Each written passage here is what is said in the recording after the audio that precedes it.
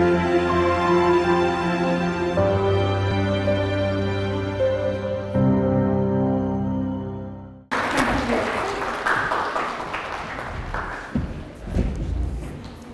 Большое спасибо за приглашение, большое спасибо за представление, аплодисменты авансов. Это действительно очень приятно выступать у вас. Меня очень радует ваша аудитория, потому что, как вы, наверное, догадываетесь, за 30 лет существования организации нашего центра пришлось немало объездить э, различных вузов.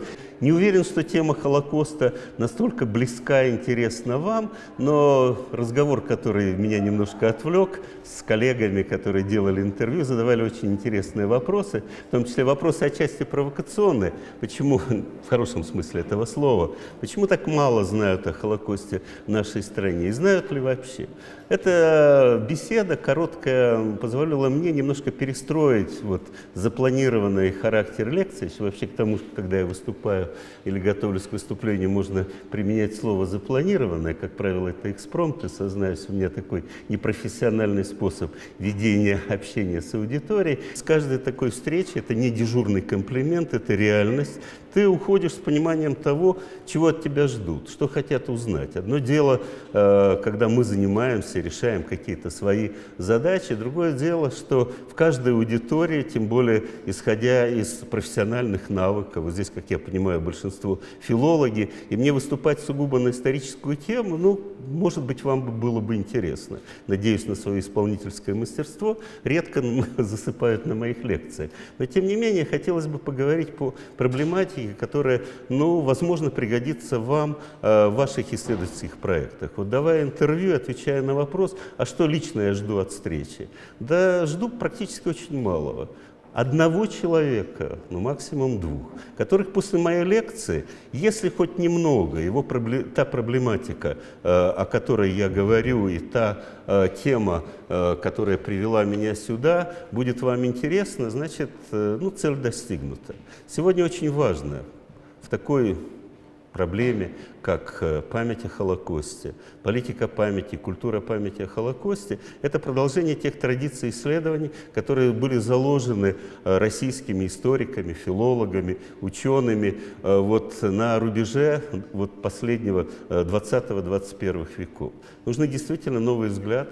Эта тема стоит на стыке наук, и взгляд молодых людей, начинающих исследователей, это может привести к очень важным интересным результатам. Ну, давайте немножко, так сказать, вот окунемся в проблематику. Э, когда есть больше времени, лекция не одна, то, конечно, я обращаюсь к аудитории, ну, для того, чтобы понять. Вот мы говорим слово «Холокост», а вот что это такое? Вот есть ли понимание того, что стоит за этим термином. Вы знаете, термин, когда пришла такая идея, я все свои проекты называю «Нью Васюки», Остап Бендер мой любимый герой. Вот, когда пришла идея в Советском Союзе, когда никто не занимался трагедией еврейского населения во время Второй мировой войны, заняться вот проблематикой, то, что сегодня мы называем Холокостом, слово «Холокост» не знал никто. Это абсолютно точно. Мы приглашали в наш совет с Михаилом Яковлевичем Гефтером, создавая попечительский совет, очень известных э, мыслителей, э, политических деятелей, э, замечательных ученых, но первый вопрос всегда был такой. Конечно, мы согласны, Михаил Яковлевич, вы нас зовете, говорили они Гефтеру, но скажите нам, что такое Холокост? И вот, когда мы со Светланой Анатольевной готовились к вам приехать, она мне вдруг показала в интернете, нашла статью о Холокосте татарского народа в период Ивана Грозного.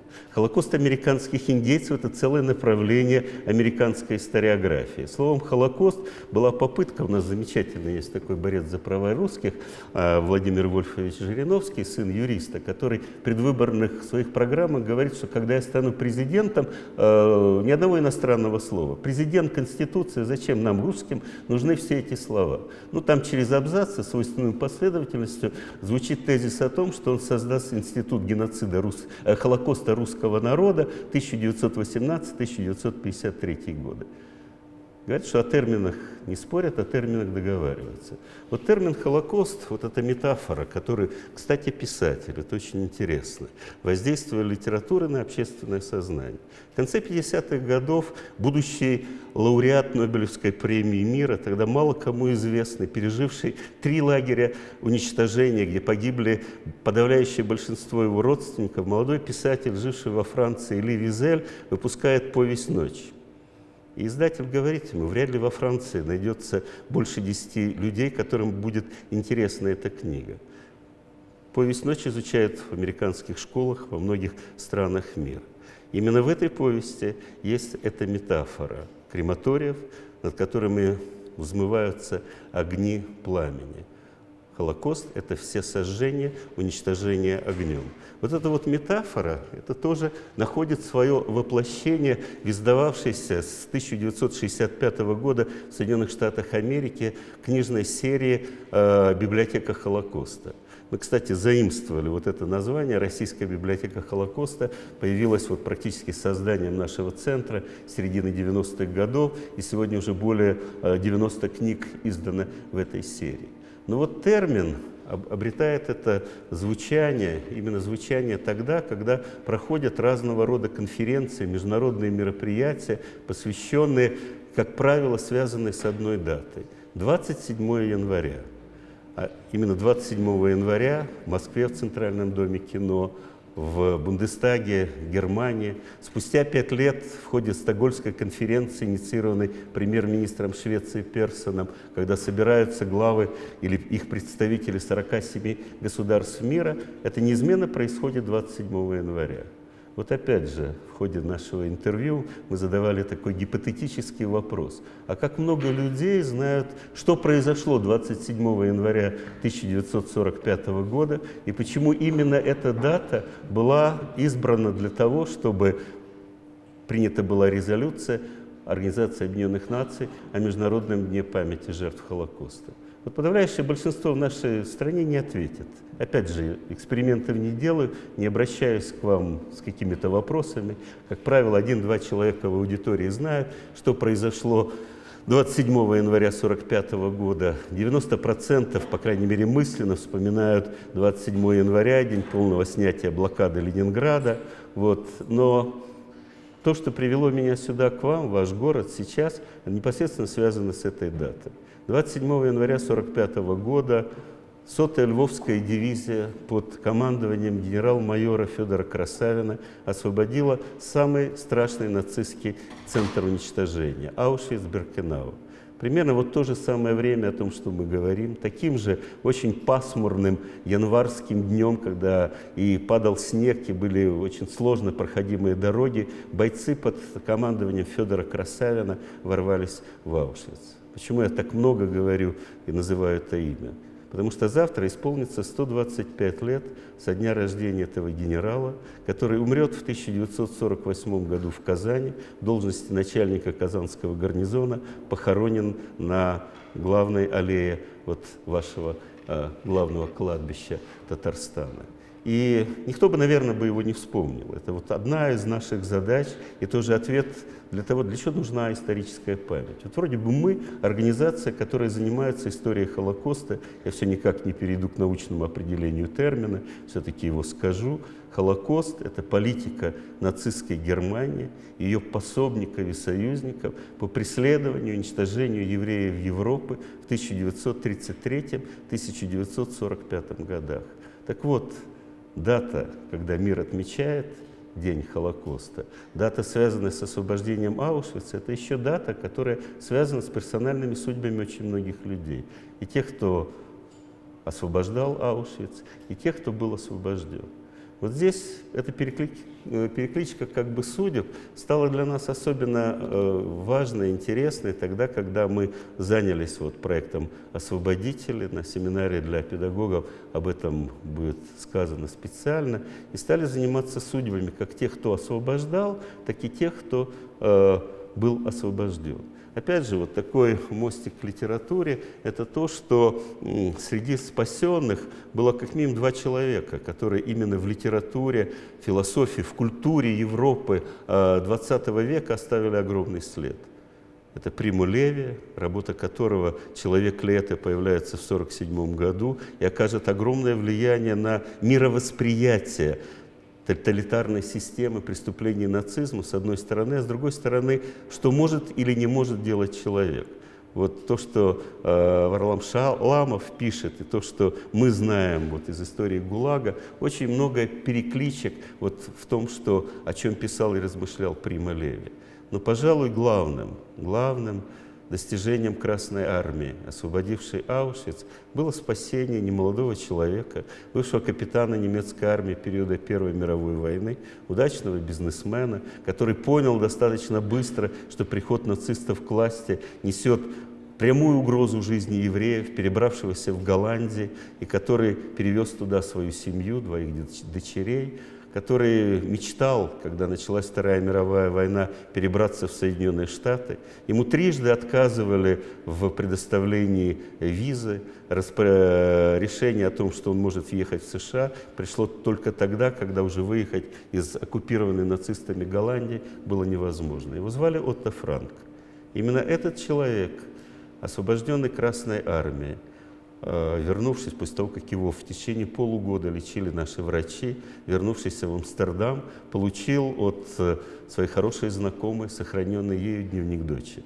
Дневник Анны Франк – самый, наверное, потрясающий, самый известный документ, литературное произведение XX века. Произведение не сколько о войне, о страданиях, но через призму судьбы 15-летней девочки, которая через этот дневник рассказала о своих чувствах и как бы показала миру, кем могла бы стать каждая из жертв нацизма, независимо от национальности. Вот этот вот дневник, я задавал себе этот вопрос, когда бы он был опубликован.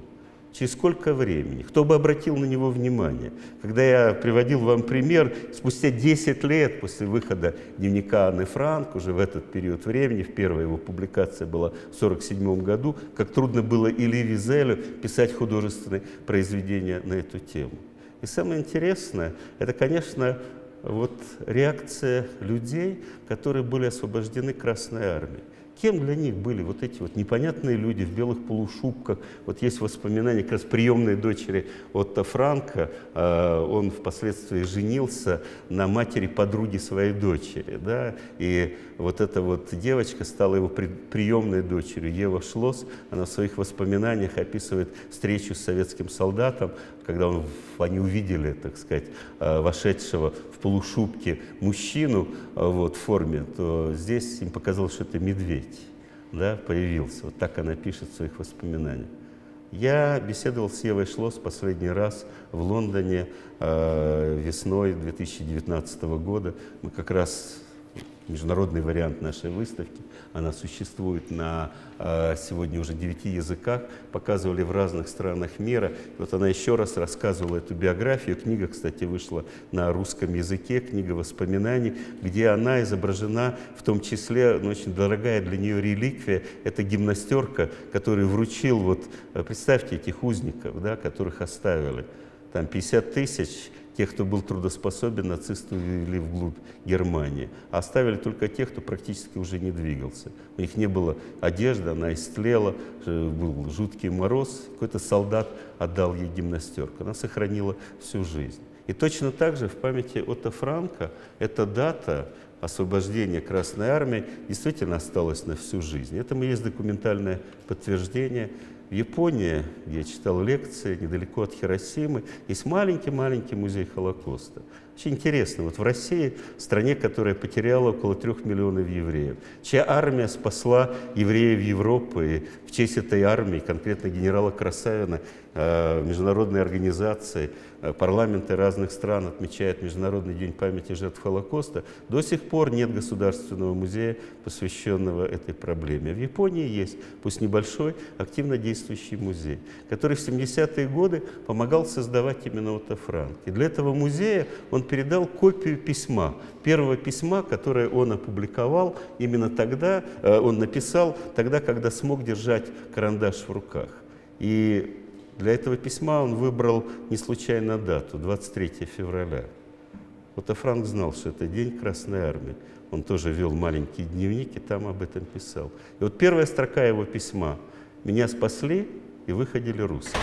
Вот представьте себе, вот не случайно не хлопнула эта дверь. Это как некий такой иногда, да, шумовой эффект или какой-то, да, нужно поставить какой-то акцент пишет немецкий еврей, которого еще не знает о судьбе своей дочери, не знает о судьбе своей страны. Он пишет, матери, она жила в Швейцарии, в Базеле, на немецком бланке с названием Аушвиц, отправляя конверт с польскими марками, названием город Освенцим, он пишет о том, что меня спасли и выходили русские. История литература, личные судьбы и э, события, которые связаны с каким бы то ни было конкретным человеком, в истории Холокоста очень тесно переплетаются.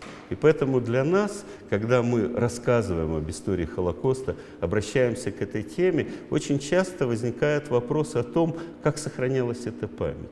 С чем это было связано? И очень важно, я лично пришел в тему Холокоста тогда, когда достаточно случайно, работая в главном архиве страны, наткнулся на э, рукопись, которая считалась утраченной. Рукопись черной книги. Черной книги, которую создавали Илья Эренбург и Василий Гроссман. Кстати, одна из статей, посвященная истории черной книги, вышла как раз в, ну, в одном из изданий Казанского университета. Мы написали статью совместно с Ольгой Борисовной Карасик, и поэтому желающие могут прочесть некоторую маленькую часть истории черной книги. Э, мне кажется, что до сих пор еще есть очень достаточно большие шансы для того, чтобы заняться этой очень интересной историей э, литературного памятника, который председатель еврейского антифашистского комитета, лучший в мире, как считалось, исполнитель роли короля Лира Соломон Михоэлс, называл памятником. Это очень интересно, отношение книги как к памятнику. И действительно, в тот самый момент, когда создавалась эта книга, а для ее создания э, Илья Эренбург, он был инициатором именно такого проекта, пригласил э, выдающихся советских писателей и журналистов.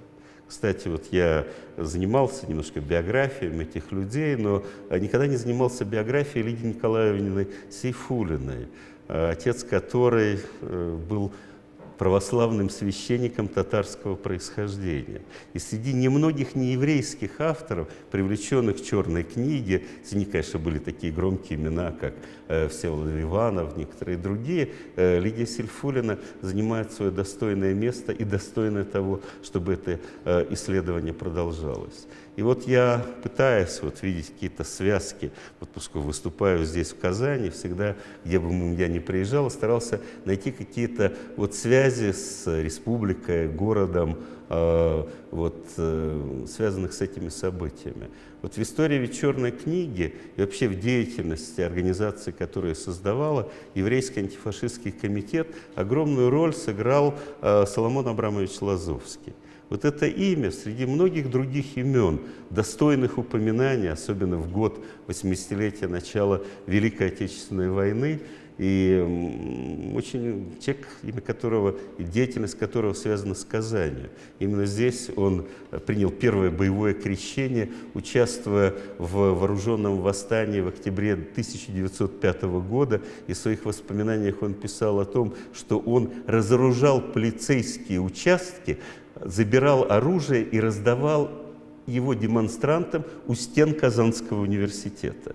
Вот если Казанский университет вот как-то да, звучит в разных как бы ипостасях, вот именно этот человек, э, кстати, очень близко знавший Вячеслава Молотова, и поэтому не случайно в 1939 году Молотов пригласил его э, на должность заместителя наркома иностранных дел. И с июня 1941 года Лазовский становится заместителем начальника Совинформбюро. Начальником Совинформбюро формально числился секретарь ЦК по идеологии Щербаков, который находился э, в Москве, а комитет э, Совинформбюро работало в городе Куйбышеве. И с первых сводок Совинформбюро, то, что мы знаем, зачитанного голосом Левитана, вплоть до последних сводок Совинформбюро, все это готовил Соломон Абрамович Лазовский который вообще-то окончил всего 4 класса, экзамены за гимназию сдал экстерном, но тем не менее был блестящим оратором, знал очень многие языки. И именно он руководил деятельностью антифашистских комитетов. Это по его инициативе был создан и еврейский антифашистский комитет, который готовил черную книгу. Если вам будет интересно, вы прочтете хотя бы вот эту нашу статью, все электронная версия легко найти, то там вы увидите очень интересную взаимосвязь работы над черной книгой э, советских и американских авторов. Я думаю, это был первый, а может быть и единственный, совместный литературный проект советских писателей и американских писателей, ученых и артистов. Там была специальная организация под таким названием, которую возглавлял Альберт Эйнштейн. Я не буду подробно вам рассказывать, даже оставлю такую интригу, эти домашние задания для того, чтобы вы познакомились с историей черной книги, но приведу один маленький пример. Вот роль Советского Союза во время войны и влияние его в том числе на литературные произведения. Готовилось совместное издание, которое должно было появиться и на английском языке, и на русском языке. Параллельно Илья Григорьевич Оренбург, он не случайно собрал лучших писателей, он хотел создать такие серию документальных очерков. Он давал каждому автору те документы, в основном письма и дневники, которые приходили в его адрес, и просил сделать из них, а, а, а, обрубая как бы или отбрасывая в сторону лишнее, вот через документ рассказать историю того или иного населенного пункта, или лагеря уничтожения, или историю спасения, только через документ. Пройдет э, примерно год, по разным причинам Илья Эренбург отойдет в сторону от своего детища, и литературную комиссию возглавит Василий Гроссман. И сохранились протоколы обсуждения, как делать черную книгу.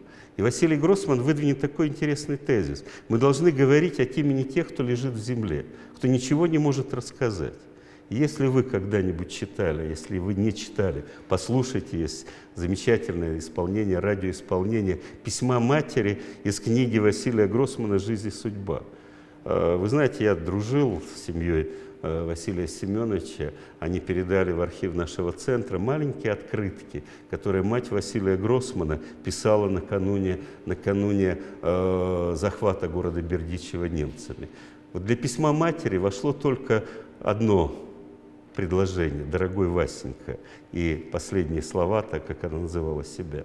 Вот, но тем не менее Василий Гроссман, читая материалы «Черной книги», сумел воссоздать вот в этом литературном произведении потрясающие вещи, которые были, э, вот, с моей точки зрения, крайне важны для понимания психологии Холокоста. Мать рассказывает ему, как ведут на уничтожение евреев, и как на это реагируют другие люди – вот это вот история Холокоста, которая очень часто, я не случайно давая это определение, и э, сделал такой вот акцент, что история Холокоста это ведь не только и не столько история, которая связана с нацистской Германией и судьбой евреев одной страны. История Холокоста это попытка тотального уничтожения целого народа. Почему мир до сих пор в культуре памяти есть разные трагедии, и мы живем в стране, которая потеряла 27 миллионов э, граждан в Советском Союзе на фронтах, в блокадном Ленинграде, в том числе в оккупации, бомбежки, голод, э, карательные операции нацистов. Стоит ли выделять одну трагедию, выделять одну тему? Те, кто создавал совместно советско-американский проект под названием «Черная книга», таких сомнений не было. Готовился Нюрнбергский процесс, текст «Черной книги» был представлен для Нюрнбергского процесса. Американцы стремились издать свой вариант «Черной книги» и прислали его на согласование в Москву. И вот вы можете себе представить, вот насколько были длинные руки вот у советских организаций, что они добились того, что э, американское издание вышло без того предисловия, которое планировалось. Ну, мало ли, какая книга, бывает литературная работа, выкидывается предисловие. Но автором этого предисловия к американскому изданию был никто иной, как Альберт Эйнштейн, лауреат Нобелевской премии мира, самый знаменитый ученый 20 века. И что не понравилось в Москве? Одно единственное предложение. Еврейский народ своими страданиями заслужил право на создание государства отдельного государства Израиль. 1946 год, это не понравилось, предисловие выкинули, но занимался этим вопросом тогдашний посол СССР в Соединенных Штатах Америки, ставший и представителем нашей страны в ООН, Андрей Андреевич Громыко. И когда в ноябре 1947 года шло очень непростые дебаты о создании резолюции о создании двух государств, еврейского и арабского, в подмандатной Британии и Палестине, выступление Громыка, он слово в слово повторил слова Эйнштейна. Правда, забыл сослаться на авторство. Но именно этот аргумент своими страданиями заслужили право на отдельное государство. И сама по себе черная книга какой-то, э, с моей точки зрения, какой-то пронзительный документ, передающий эпоху. Потому что я не знаю никакого другого литературного произведения, которое бы дважды было вещественным доказательством на двух процессах, абсолютно противоположных, проходящих в разных странах, имевших разные идеологические и политические задачи. То есть понятно, что она была представлена в Нюрнберге, да, когда судили нацистов, потому что в обвинительное заключение отдельно был выделен раздел преступления против евреев. Но когда в ноябре 1948 года по приказу Сталина был закрыт еврейский антифашистский комитет, арестован сначала его архив, а потом и люди, которые участвовали в работе еврейского антифашистского комитета. Вот, э, Черная книга стала вещественным доказательством еврейского буржуазного национализма. Более того, связи со шпионскими организациями США, которые и готовили Черную книгу. 13 смертных приговоров. Последний сталинский расстрел. Расстрел по делу еврейского антифашистского комитета. Я бы сделал акцент на словах антифашистского. Как же должен быть режим изжить себя для того, чтобы делать процесс по делу организации, которая, это отдельная, наверное, нужна бы лекция, огромный вклад, который она внесла в открытие Второго фронта, сбора средств для того, что происходило бы вот здесь э, на фронтах Великой Отечественной войны, э, правду о трагедии еврейского народа. И опять возвращаемся к людям, да, которые работали в еврейском антифашистском комитете, к тем, кто создавал черную книгу. Э, я тоже абсолютно случайно, наверное, никогда бы не обратил на это внимание, если бы не поехал в Казань, начал просматривать различные публикации Ильи Григорьевича Эренбурга вот накануне того, как он взялся за создание «Черной книги». Вот кто-нибудь в этой аудитории знает о его статье, которая имеет прямое отношение к вашей республике? Ну, господа филологи, в этом году 130 лет со дня рождения Ильи Григорьевича Эренбурга. И э, этот был тот человек, знаете, вот на фронте говорили, можно раскуривать любые газеты, но если это газета со статьей Эренбурга, а он написал за годы войны больше статей, чем длилась сама война, да? То есть э, там больше полутора тысяч статей он писал каждый день. 27 октября 1942 года в газете «Красная звезда» появилась его очерк «Татары», я не в курсе, чтобы он писал о каких-то других народах. У него нет статьи евреи, хотя он упоминал о еврейской трагедии, вскользь, иногда не упоминая о еврейских жертвах, просто называл их мирными жителями. Вот эта статья «Татары», которая есть замечательные слова о том, это цитата из Эренбурга, всегда, когда речь идет о войне татарине, значит, это значит, что речь идет о войне, который блестяще воюет. Этот публицист, видите, он никогда, насколько я знаю, во время войны не посещал Казань, но, может быть, я просто этого не знаю. Это не был человек, который замкнут был там на трагедии еврейского народа. Но сам уроженец Киева, а в Бабе-Яр, Киев – это то место, где на территории СССР погибло наибольшее количество евреев. Бабе-Яр давно стал символом Холокоста. И, кстати, литературное произведение о Бабьем Яре, стихотворение Евтушенко – о памятнике, да, э, повесть Кузнецова э, в журнале «Юность». Это были первые бреши, которые пробивали немоту вокруг этого. Но при этом незаслуженно забывается имя человека, который впервые заговорил именно о еврейской трагедии вот таком общечеловеческом, общефилософском плане. И вы знаете, так очень, наверное, не часто бывает, но все-таки случается – в конце 1959 года в литературной газете появилась публикация Виктора Некрасова, лауреата Сталинской премии, окупа Сталинграда, обласканного властью, но человека, киевлянина, для которого то, что память о его земляках, евреях никак не увековечена, вот он впервые написал именно об этом. И вы знаете, статью опубликовали, но самого его в Киеве все время замучили вопросами. Э, Виктор Платонович, почему вы говорите только о евреях? Ведь в Киеве там погибли люди разных национальностей. И он всегда отвечал, действительно, в Бабьем Яру лежат не одни евреи, но только евреи лежат потому, что они евреи по национальности.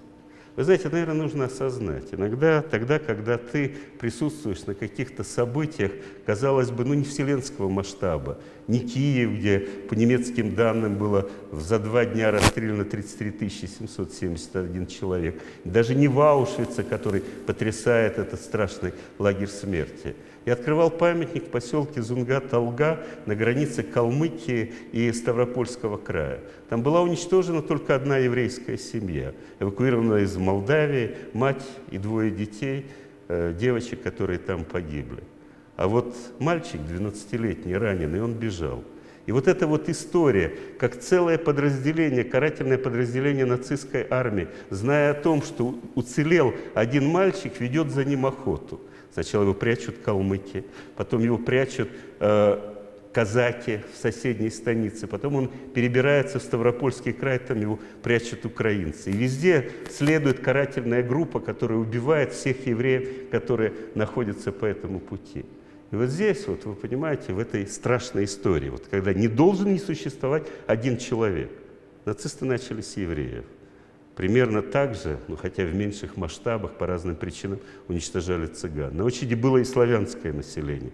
Но вот это именно этот урок Холокоста, трагедия одного народа, которая влечет за собой универсальность, потому что этими же методами будут уничтожаться и другие. Вот она как капля воды э, проявлялась именно в этой трагедии. И я, видите, там счастливый финал. Этот мальчик выжил, он стал... Э, это очень интересно, что люди, которые его спасли, его усыновили, э, вот, и я знаком с этой семьей, поэтому история спасения в истории Холокоста занимает очень важное значение. И вы, наверное, очень удивитесь, если задаете вопрос, а почему, точнее, получите ответ на вопрос, почему же в Советском Союзе не была издана черная книга. В 1947 году практически текст был готов – он был отпечатан, две трети книги уже просто в типографии, немалый тираж, 30 тысяч экземпляров, книга на русском языке. И вдруг издание было приостановлено. Рецензенты из отдела пропаганды ЦК сумели зацепиться за главу, которая с точки зрения идеологии, казалось бы, была стопроцентно неуязвима. Она называлась «Советские люди едины». Там рассказывалось о том, как люди разных национальностей, отдавая свои документы, укрывая евреев, рискуя жизнью, спасают их от нацистов. И это стало предлогом запрещения черной книги. Вот на первый взгляд это кажется нечто сюром. Да? Почему именно эта глава вызывает наибольшее, так сказать, ну, какую зацепку могли найти власти? Вот здесь мне вот э, было бы очень интересно услышать вашу версию.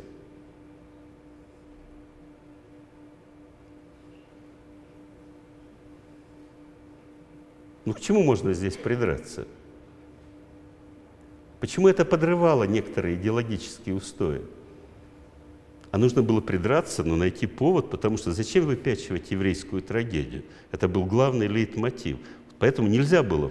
Гибли все мирные советские граждане, действительно, сожженные деревни, там расстрелы, казни заложников, 7 миллионов, 7,4 7 миллионов 400 тысяч мирных советских граждан разной национальности физически были уничтожены нацистами, это без блокады Ленинграда, погибших в бомбежках от голода и так далее.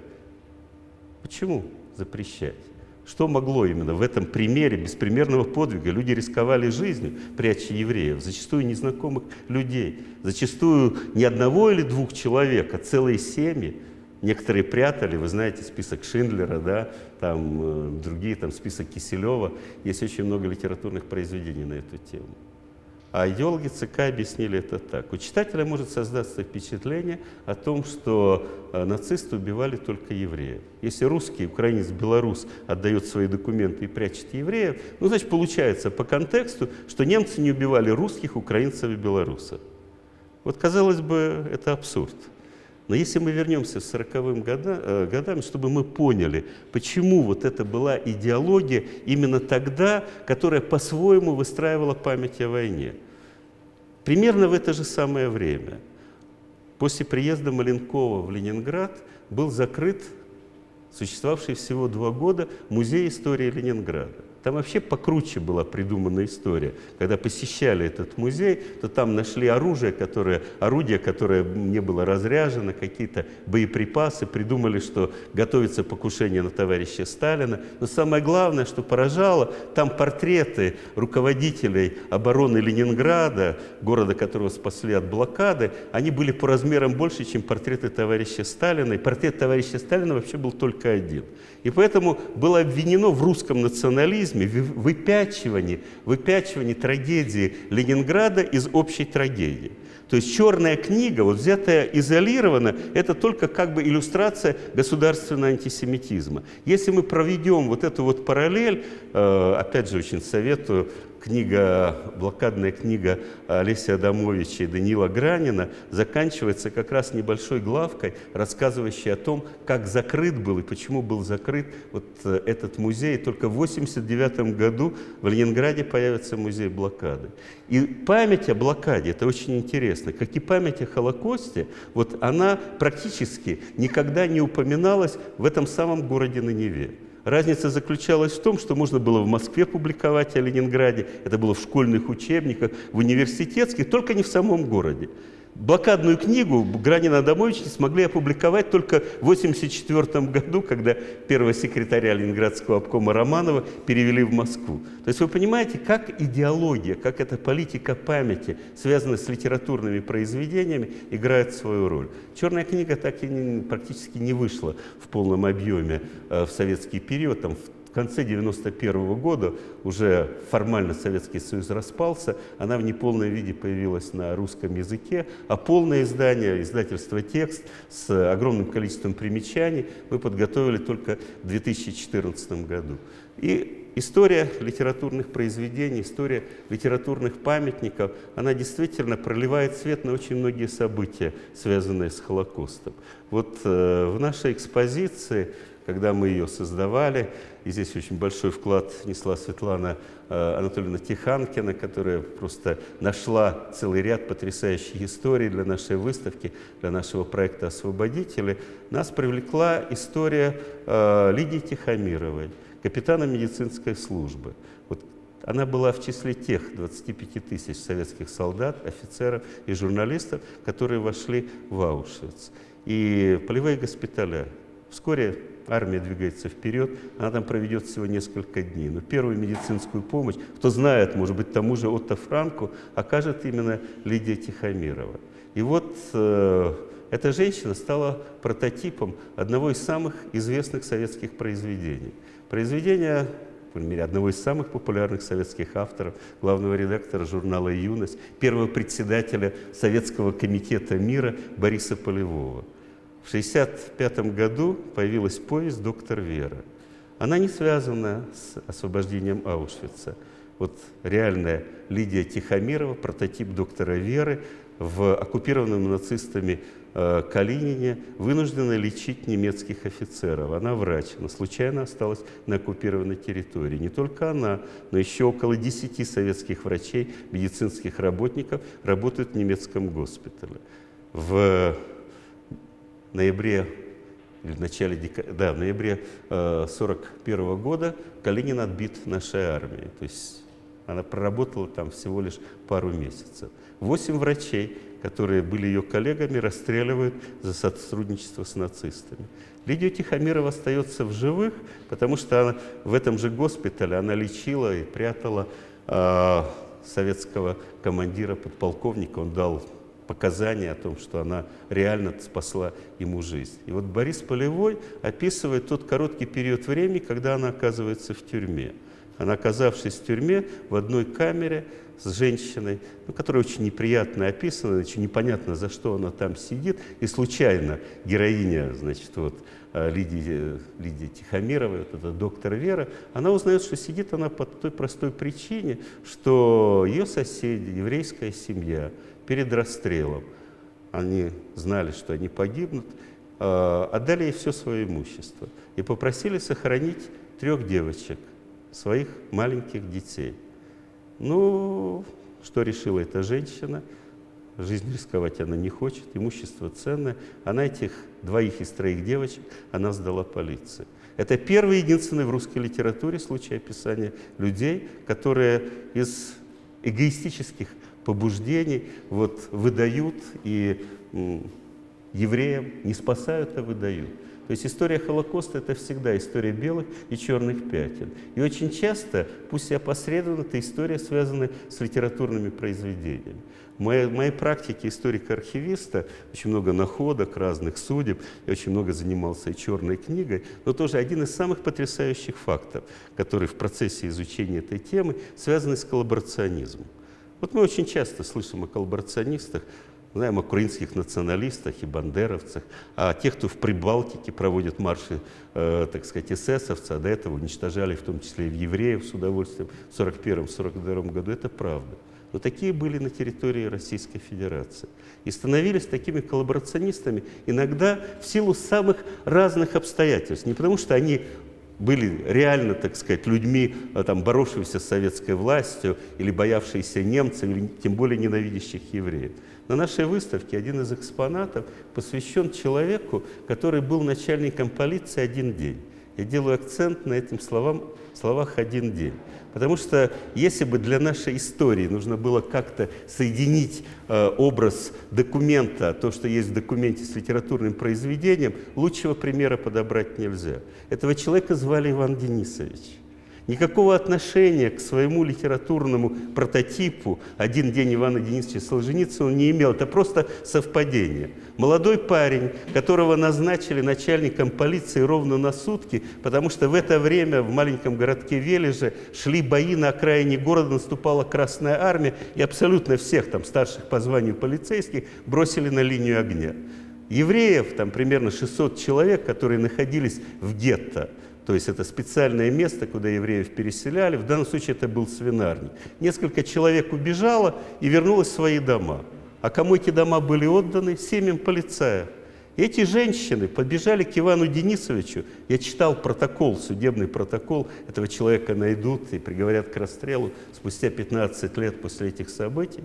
И там были вот эти самые слова о том, что они говорят, Иван Денисович, нас из наших домов выгоняли. Это вот у меня потрясающая фраза. Там два там, месяца, уже это наши дома. Окей, что делает Иван Денисович? Он берет еще двоих, они приходят к этим нескольким маленьким строениям, где находятся евреи, заколачивают окна, поджигают, тех, кто пытался убежать, расстреливают, и несколько сот человек сгорели заживо. Термин «Холокост» — это метафора газовых камер и крематориев – над которыми развивается огонь, дым труб, пепел людей, которые уходят в небеса. И маленький городок Велиш, одно сожженное гетто, по приказу человека по имени Иван Денисович. Вы понимаете, что вот в истории Холокоста, которой мы занимаемся, это всегда история, драматическая история поведения людей. И героев, и предателей, и не предателей, и не героев, которые просто, может быть, выполняли свой долг. И поэтому нам очень захотелось создать выставку, в которой разные стороны этой трагедии были бы отражены. И мы особое внимание уделяли людям, которые рассказали, рассказали миру правду об этом. Вот не зря Борис Полевой, наверное, написал повесть, о которой я говорил. Он был в числе тех журналистов, которые оказались уже в, начале, э, в конце января, начале февраля 1945 года в Аушвице, который освободила Красная Армия. И вот для меня было очень важным узнать о журналисте, малоизвестном сегодня, корреспонденте э, «Комсомольской правды» Крушинском. Он родился по соседству в Башкирии. А вот замечательный журналист, который не просто написал статью в «Комсомольской правде». Вот долг журналиста, статья, окей. Okay но он увидел, что происходит. К нему подходили люди, бывшие узники, среди них были, и хоть они, вот человек был из Франции, но он э, знал русский язык, родился на территории Российской империи, и он ему сказал два факта. Первое, что э, нацисты пытаются уничтожить лагерную картотеку, и разбросаны эти документы архивные, их надо сохранить. Часть эсэсовцев переоделась в форму узников, их нужно поймать. А самое главное, срочно пришлите врачей, потому что нужно лечить.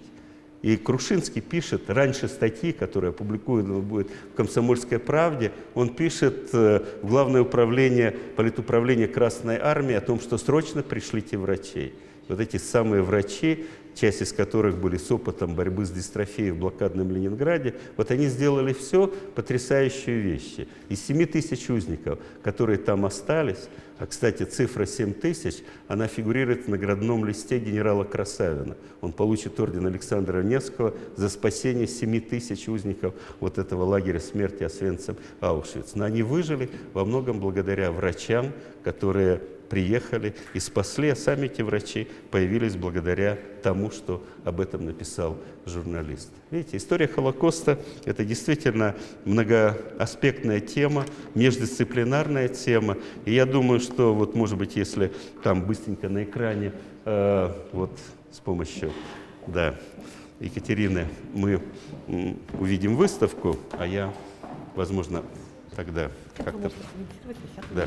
Видите, мы начали первый раздел, э, то есть идея выставки такова, что на каждом стенде крупно выделена одна фотография или документ, который центральный. Да? Вот э, Холокост в Германии. Мы немножко, так сказать, займемся историей, хронологией. Да? То есть с чего начинается? Стенд начала – это события, которые были в нацистской Германии. И первый погром «Хрустальная ночь», разрушенные синагоги, разбитые витрины магазинов. И вот э, мы нашли регион, нынешняя Калининградская область, а ранее Восточная Пруссия, Кенигсберг, где происходили эти события. Унижение, преследование евреев представлено этой экспозиции. И здесь же Анна Франк. Это как бы начало, первый стенд, и дальше с историей, уже рассказанной вами, мы к этому вернемся. Холокост на территории Советского Союза. Здесь тоже, видите, один из э, документов, который написан 15-летней девочкой своей подруге накануне оккупации города Киева. Это предчувствие.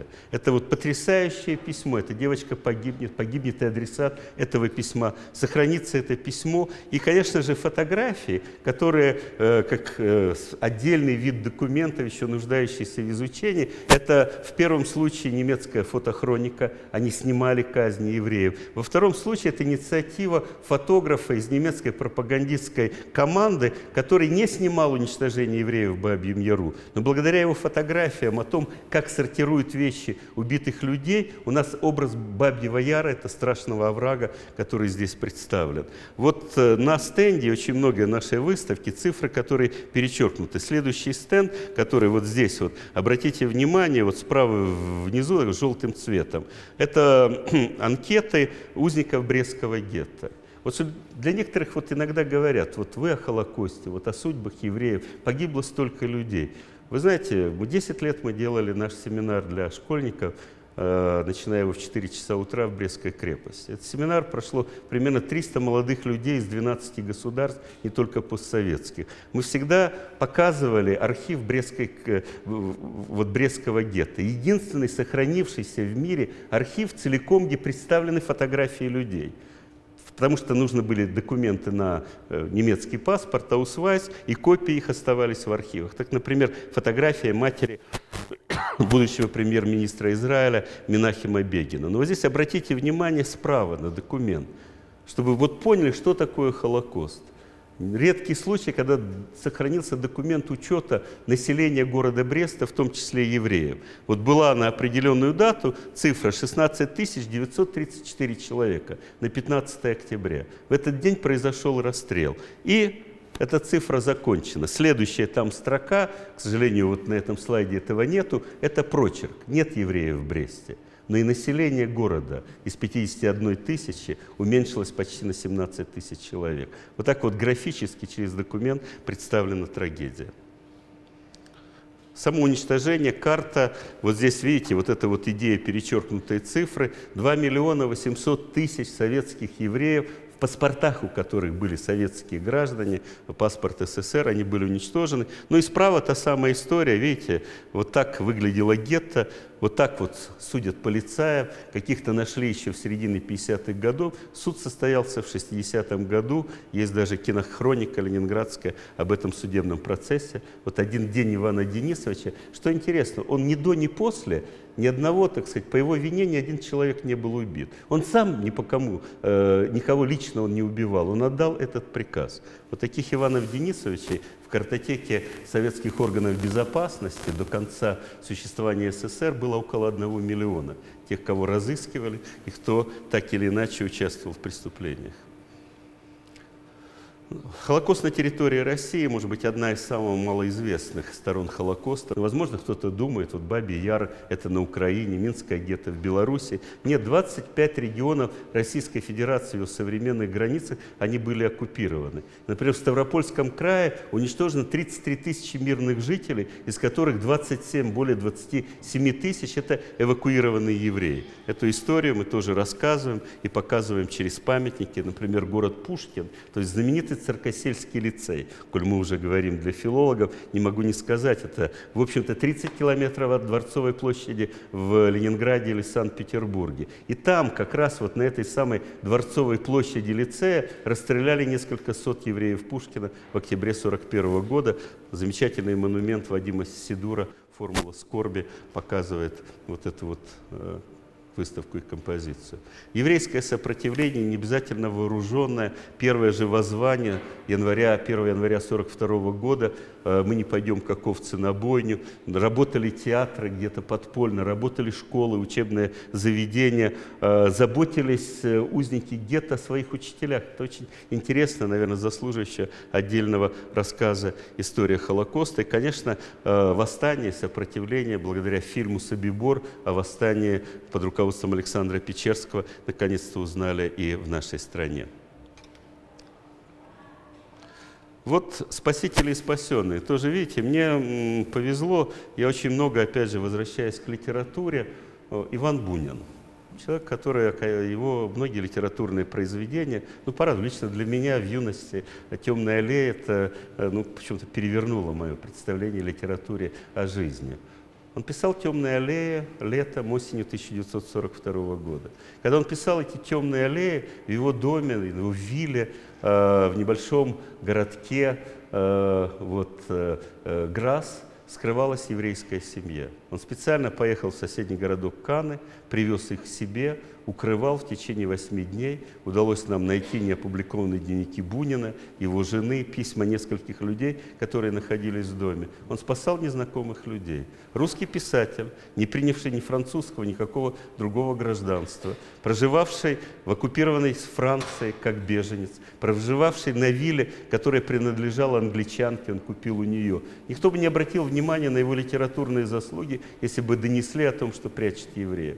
Но для Ивана Алексеевича Бунина такого выбора не было. Он еще пока не признан праведником народов мира от э, другого э, известного писателя из Польши, вот, то есть один писатель, э, Чеслов, сейчас вылетела фамилия, удостоен этого звания. То есть истории спасения, э, они крайне интересны и они важны для истории Холокоста чрезвычайно. Давайте освобождение мы начинаем с советской территории. Первое гетто, гетто Калуги, было освобождено уже в декабре 1941 года. Последнее гетто Европы 8 мая 1945 года рядом с Прагой, город Терезен, кстати, освободила та же самая армия, которой воевал э, генерал Красавин. Дальше мы показываем истории вот именно освобождения первого э, лагеря смерти, э, лагеря смерти Аушвиц, и, конечно, рассказываем э, в первую, э, то есть, извините, Майданока, и рассказываем о всех вот этих вот генералах, которых я упоминал, упоминал и о дагестанце Танкаеве, который командовал полком, который освободил, вот, э, освободил э, непосредственно Беркинау. Он в составе как раз той дивизии, которой командовал, э, командовал генерал Красавин. Э, станет впоследствии этот дагестанец Танкаев генерал-полковник. Вот представьте, мусульманин был во главе воинского подразделения, которое освободил еврея Отто Франка, еврея Прима Леви и других узников. Ну, я уже называл о подвиге врачей. Вот когда мы показывали нашу выставку, были некоторые сомнения вот в Сенате Берлина, захотят ли немцы, чтобы мы экспонировали подобного рода выставку. Вы знаете, их больше всего как раз привлек раздел о медиках, потому что в германских школах и вузах история Холокоста акцент на преступлениях врача Менгеля, его чудовищных опытах, которые он делал. А здесь вот для нас вот та самая доктор Жилинская, о которой я говорил, ее узники называли ангел жизни. Она спасла их жизни. Как интересно, название словосочетания ангел смерти появится позже, чем вот те слова, которые благодарные узники говорили в честь, в честь наших врачей. Ну, историю Отто Франка я рассказал, то есть представлены дневниковые записи, письма, э, они очень сильно, и даже вот фотография, гимнастерка, которую получила в подарок Ева Шлосс. Борис Полевой тоже представлен здесь. Э, среди тех, кого спасли наши э, солдаты, было очень много известных людей. Часть я называл, тоже знаменитый теолог и писатель Лео Бек, руководитель еврейской общины Германии. Ну и завершается наш раздел, это как бы вот и замыкает вот эту экспозицию проектом «Вернуть достоинство». Проект, который мы сегодня проводим вместе с Российским еврейским конгрессом, устанавливая места, где уничтожали евреев, и устанавливая памятники. Очень часто инициаторы – это учителя, очень часто это краеведы. В подавляющем большинстве это не евреи, для которых люди, которые погибли там, это земляки. И вот, может быть, вот это общее сохранение памяти, памяти о войне, о преступлениях нацизма, это тоже один из очень важных уроков Холокоста. Хочу закончить словами Михаила Яковлевича Гефтера, с которым мы создавали наш центр и которому мы стараемся следовать. Не бывает геноцида только против одного народа. Геноцид всегда против всех. Вот что такое история Холокоста, вот что такое уроки Холокоста, о которых я вам хотел рассказать.